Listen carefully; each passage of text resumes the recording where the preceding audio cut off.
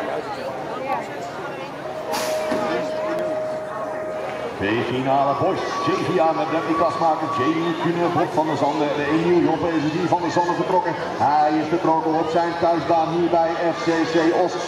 De laatste wedstrijd in het zonnetje. Wie had dat nou gedacht op deze 15 oktober? Maar goed, we hebben hem mooi meegepikt en we hebben ervan kunnen genieten gelukkig. Maar Bob van der Zanden kan hier ook van genieten. Want hij rijdt vooraan. Hij heeft die, eh, eerste positie in handen. En achtervolging gaan we dan kijken naar, uh, dat is Wieke natuurlijk. Wieke zit daar op die tweede met Bradley Kasmakers op die tweede spot. Maar die krijgt een aanval op je verduren denkt voor.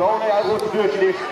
Niks. Weg jij, ik ben tweede en niet jij. En we proberen het zo meteen nog maar eens een keer zou die denken. Vooralsnog is het nog steeds van de Zander vooraan. Dan gaan we de Kasmakers. Dan gaan we kijken naar de 628. En dat is Jamie Kunnen. En die heeft nu aan de stok met zijn teammaat van de 654 van Emiel Joppe. Maar de winst is voor iemand hier uit Os. Niemand in de baan. Bob Van de Zander.